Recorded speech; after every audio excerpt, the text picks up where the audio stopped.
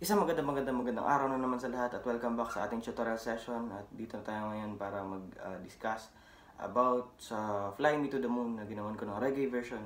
So, um, let's proceed. Ang ginamit ko doon na strumming pattern and beat pattern is yung typical natin na reggae beat pattern. Sa mga hindi pa nakapapanood, tinan nyo dun sa channel ko, uh, hanapin nyo dun, pinutin nyo yung videos dun sa baba. Merong nakalagay dun na merong isang video na ang title is uh, basic uh, reggae beat pattern tutorial. So, basically, ganito lang yan siya. For example, ang chord is B minor.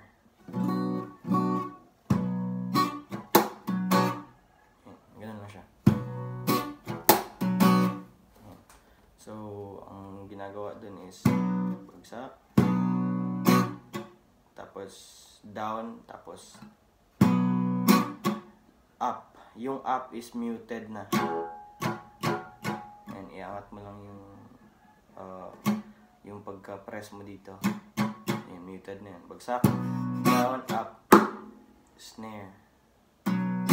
Tapos, after, after ng snare, hammer. Hammer lahat. Tapos, downstroke.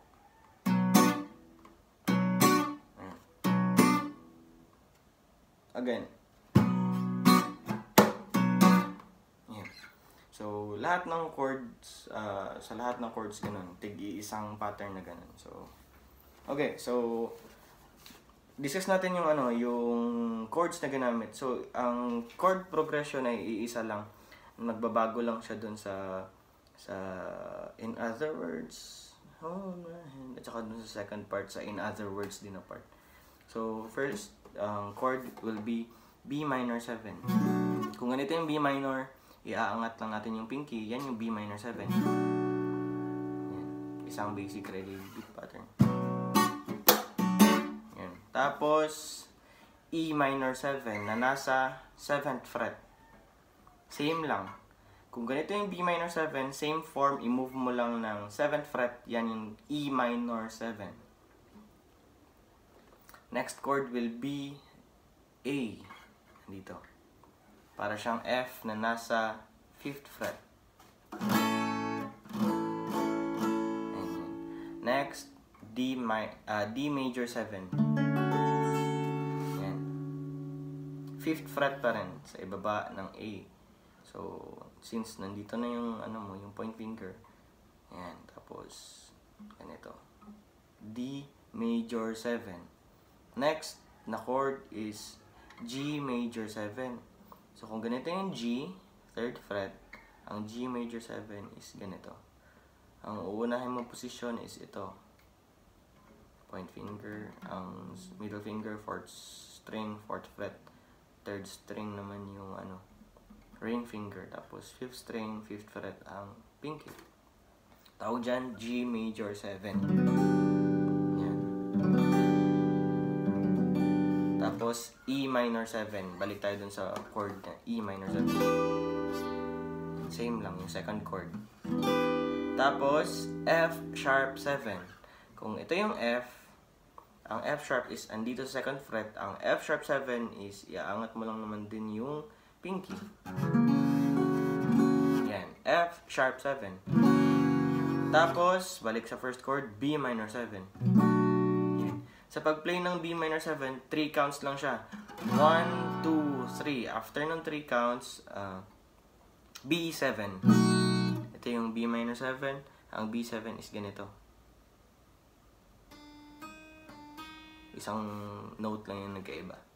Okay, so, ulitin muna natin. So, 2, 3, and B minor 7, E minor 7. Tapos A. Tapos, D major 7. G major 7. Tapos, E minor 7. F sharp 7. Tapos, B minor 7. 3 counts. 1, 2, 3. Yan. Tsaka isang B7. Yan. Next niyan is yung, in other words, yun na part. So, ito yung uh, magbabago na, na pattern dito at saka sa second na repetition.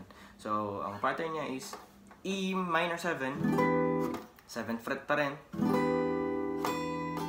Tapos A, 5th fret. Pareho lang ang ginamit natin kanina. Tapos F sharp minor 7. So kung ang F sharp 7 is ganito, ang minor 7, F sharp minor 7, iangat mo yung middle finger. Yan. Dalawa na lang. Yan. Yan ang F sharp minor 7. Next na chord is B minor 7. 3 counts pa rin at saka ang ika-fourth B7. The same lang kanina. 1, 2, 3. Yan. So, next is E minor 7. Tapos A. Tapos D major 7. Yan. So, ulitin natin yung in other words na part. 1, 2, 3. In other words, A. F sharp minor 7. Tapos B minor 7. Tapos, yun, 3 counts. 1, 2, 3. E minor 7. 2, 3. Tapos A. 2, 3, 4. D major 7. 2, 3, 4. Yan. After nun is, uh, meron isang transition para uulit naman dun sa kanyang chord progression. Dalawang chord yun. Ang una, C sharp 7. Kung ganito yung B7 natin, second fret, ang C sharp 7, uh, ibabase natin sa intervals, uh, tsaka sa movable chords, uh, ito yung B, second fret. Dito yung C, tapos plus 1 tayo, C sharp na. C sharp 7. So kung ano yung form niya, B7, lipat mo lang sa 4th fret, ang point finger. Yan. Yan. Yan ang tawag dyan is C sharp 7. Yan. So, ang pattern nito is down, up, slap. Tapos, F sharp 7. Pares ng chord kanina. So, um.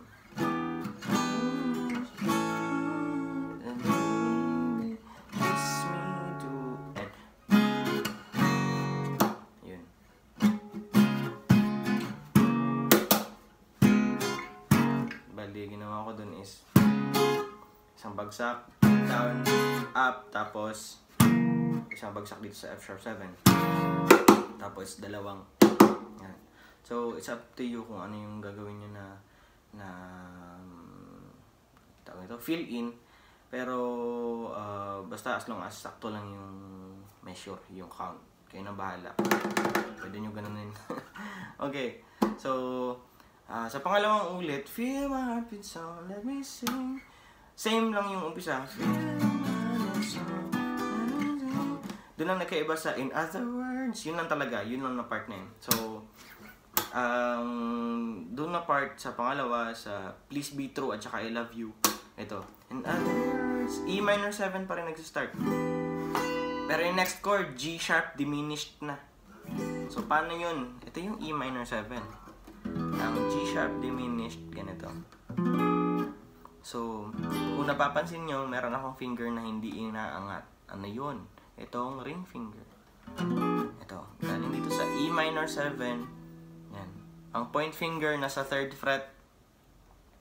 3rd fret. 7th fret. Yan. As is lang itong, ano, itong ring finger ha. Tapos, itong middle finger mo, 5th string, 8th fret. Tapos, itong pinky, 9th fret ng 2nd string. Ang papatunogin mo, ito lang din pinindot mo. Yan. Tapos, punta sa F sharp minor 7. Same lang ginamit kanina. Tapos, B minor 3 counts. B minor 7, tapos B7. Yan. The same lang. Ang pinagkaiba lang talaga, instead of going to uh, A, di ba after ng E minor 7, A dapat. So, dun sa pangalawa is E minor 7, tapos G sharp diminished, tapos F sharp minor 7. Yan. So, play natin yung second. 1, 2, 3, and A, D, main, my, ah, D major 7. Sorry. That was G minor 7,